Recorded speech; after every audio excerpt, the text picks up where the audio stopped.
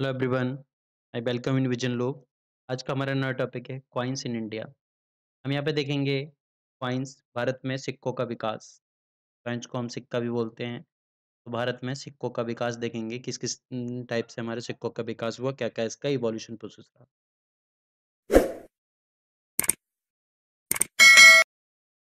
Coins ये हमारे culture का बहुत इंपॉर्टेंट टॉपिक आता है कॉइन्स यहाँ पर हम देखेंगे भारत में सिक्कों का विकास तो किस प्रकार से यहाँ पर भारत में सिक्कों का विकास हुआ है, क्या-क्या उसका पैटर्न चला है, उसको हम देखेंगे। तो जो कॉइन वर्ड है वो ड्राइव हुआ है क्यूनियस जो लैटिनिक वर्ड है। इसको हम बोलते हैं कि स्टडी ऑफ़ कॉइन को बोला जाता है नुमिस्मेटिक मतलब सिक्का शास्त्र इसको बोला जाता है। तो सबसे पहले जो एविडेंस फाउंड हुआ है चाइना और ग्रीस में 700 बीसी के अंदर जो फ़र्स्ट एविडेंस फाइंड हुआ है क्वाइन का। उसके बाद में इंडिया के अंदर इस चीज़ का एविडेंस फाइंड हुआ है। पाणिनिक अष्टधाई जो एक बुक है, वो बताती है इसमें कि metallic piece by stamped with the symbol to make punch mark coin तो पंच मार्क कॉइन यूज़ किए जाते थे, वहाँ पर स्टैम्प लगा के स्टैम्प किए जाते थे और हर कॉइन को क्या बोला जाता था? रत्ती। उसको रत्ती बोला जाता था, जिसका वेट होता था पॉइंट वन वन ग्राम ठीक है? इस टाइप से यूज़ होती थी। यहाँ पर पंच करते थे अलग अलग शेप का पंच किया जाता था इसमें। ठीक है? नंबर ऑफ़ शेप रखी जाती थी उनका पंच करने के लिए। और ये जो सिक्का था, ज़रूरी नहीं है सर्कुलर हो अलग अलग शेप में ये अवेलेबल होता था। ठीक है मतलब जो इरेगुलर शेप वगैरह इसमें प्रोवाइड होती थी उस टाइम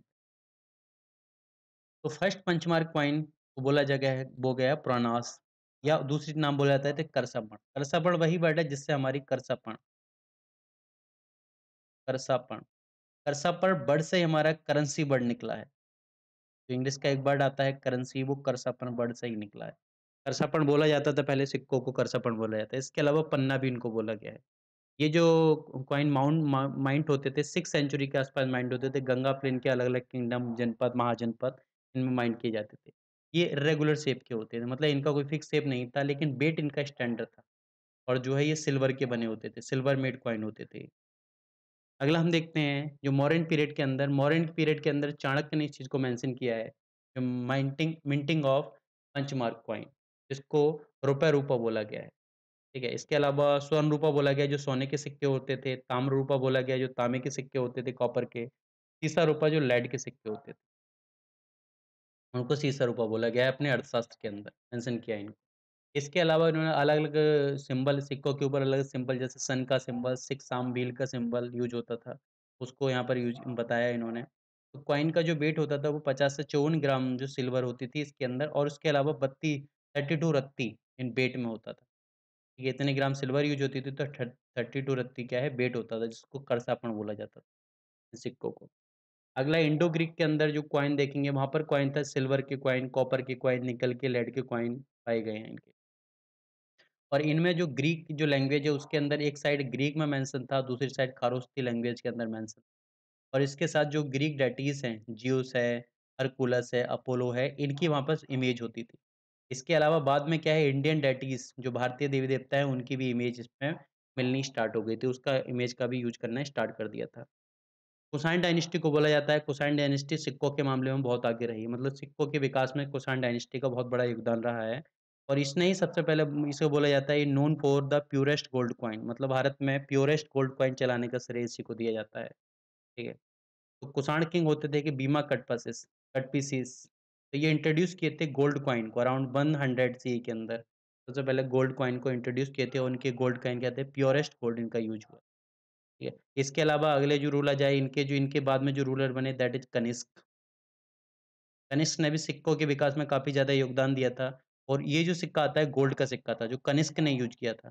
तो कनिष्क का सिक्का था, एक तरफ़ कनिष्क की एक सिर्फ़ पिक्चर होती थी, जिसमें वो पूरे पोज़ीशन में खड़े हुए हैं और दूसरी तरफ़ उसी सिक्के के अंदर जो है, भगवान बुद्ध की एक पिक पिक्च इमेज होती थी उसमें, सिक्के को जो कनेक्शन ने और इसलिए इस सिक्के के ऊपर बैक्टेरियन लैंग्वेज में कुछ लिखा होता था। तो जो सिंबल होते थे बैक्टेरियन सिंबल इसमें स्टार्टिंग में यूज़ किया हैं लेकिन बाद में वो इंडियन सिंबल की तरफ़ भी चलने स्टार्ट हो गए।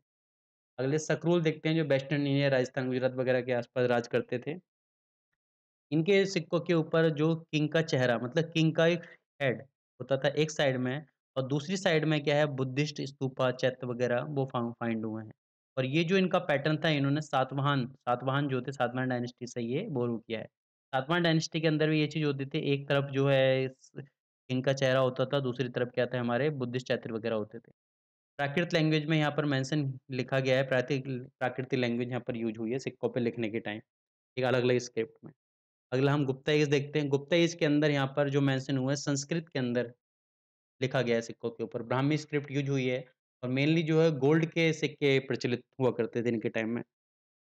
इसके अलावा जो सिल्वर था और कॉपर था उसके सिक्के भी पाए गए इनके, यूज़ करते थे। और यहाँ पर जो था, एक साइड पे किंग मेंशन होता था और दूसरी साइड पे गॉडेस लक्ष्मी, लक्ष्मी देवी को मेंशन किया गया है दूसरी तरफ़।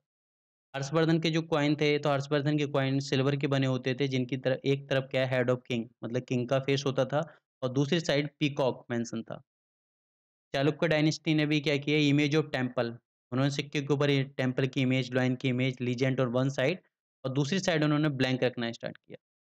राजपूत डायनेस्टी में मोस्टली गोल्ड के कॉइन यूज़ किए, इसके अलावा कॉपर है, बिलियन है, इनके कॉइन भी रेयरली हम इनके कॉइन भी देखे गए। सिल्वर का बहुत रेयरली इनका यूज़ मिलता है, ठीक है? तो इनका जो वो किंग का नाम संस्कृत में लिखा होता था इनके सिक्कों राजपूत डायनेस्टी के सिक्कों पे। इसके अलावा दूसरी तरफ़ गॉडेस मतलब देवी की फ़ोटो हुआ करती थी। अगले हम देखते हैं पांड्यन डाय पांड्यन डाय डायनेस्टी को देखते हैं। तो पांड्या डायनेस्टी के अंदर स्क्वायर शेप गोल्ड और सिल्वर कॉइन मिलते हैं इनके। इनके ऊपर एलिफेंट की इमेज होती थी, ठीक है? लेटर बट बाद में क्या थी ये फ़िश भी यूज़ करने स्टार्ट कर दिए थे। मतलब स्टार्टिंग में जो एलिफेंट की इमेज मिलेगी, लेकिन बाद में मतलब मछली वगैरह की इमेज भी मिलनी स्टार्ट हो गई थी। और इनके ऊपर इंस्क्रिप्शन जो था संस्कृत में लिखा हुआ था। इसके अलावा कॉपर कॉइन जो होते थे उनमें तमिल में इंस्क्रिप्शन लिखा हुआ होता था।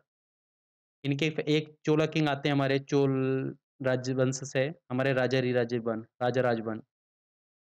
इनके यहाँ जो सिक्के मिलते थे इनके टाइम में तो स्टैंडिंग के मतलब एक साइड सिक्कों के एक मतलब राजा की इमेज होती थी, पूरा खड़ा हुआ है राजा, स्टैंडिंग पोज़ीशन में और दूसरी तरफ़ गॉडेस मतलब देवी की फ़ोटो होती थी जो बैठी हुई पोज़ीशन में होती थी, ठीक है? दूसरी साइड और जो इंस्क्रिप्शन था वो संस्कृत में यूज़ होता था। राजेंद्र वन चोला जो थे, उन्होंने अपने सिक्कों के ऊपर टाइगर फ़िश का सिंबल इंस्क्रिप्ट कराया था। अगला हम देखते हैं पल्लव डायनेस्टी। पल्लव डायनेस्टी के जो उनके जो फिगर आती है वो लाइन ऑन कॉइन मतलब शेर का चित्र, शेर का इमेज को कॉइन के ऊपर इन्होंने यूज़ किया था। दिल्ली सल्तनत ने भी gold, silver coin billon billon coin जो है वो यूज़ कराए।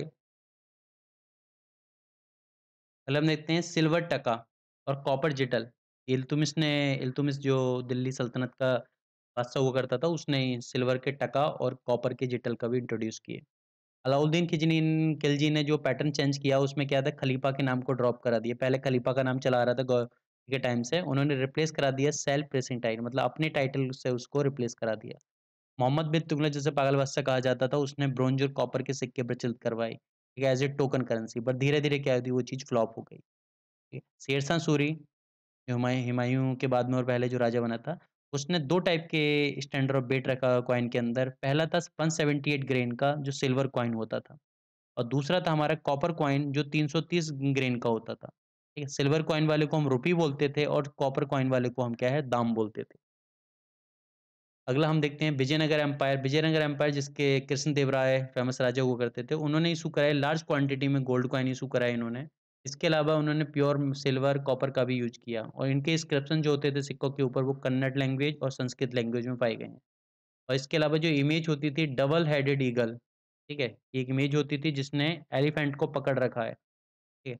और इसके अलावा वेरियस हिंदू डेटी मतलब हिंदू देवी-देवताओं की फ़ोटो इन्होंने यूज़ किए हैं। अगले मुगल है मुगल ने यूज़ की मोहर। मोहर मतलब जो आईने अकबरी के अंदर मेंशन की गई है कि एक मोहर का मतलब होता था नौ रुपए, ठीक है? मोहर जिसका हमारा होता था 170 से 75 ग्रेन की मोहर होती थी।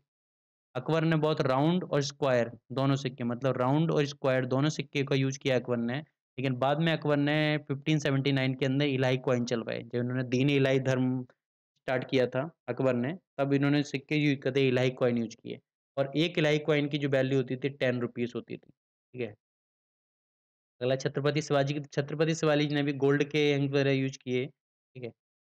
और इनका जो टाइटल होता था वो नागरी स्क्रिप्ट में होता था। अगला है बोधिया डायनेस्टी। बोधिया डायनेस्टी में मैसूर की डायनेस्टी आती है। यहाँ पर जो किंग थे, कांति राय नरासा बोस बोर। तो इन्होंने इमेज ऑफ़ नरसिम्हा अवतार इन्होंने अपने सिक्कों के बाद नरसिम्हा अवतार मतलब भगवान विष्णु का जो अवतार आता है जो प्रहलाद को बचाने के लिए नरसिंह अवतार था।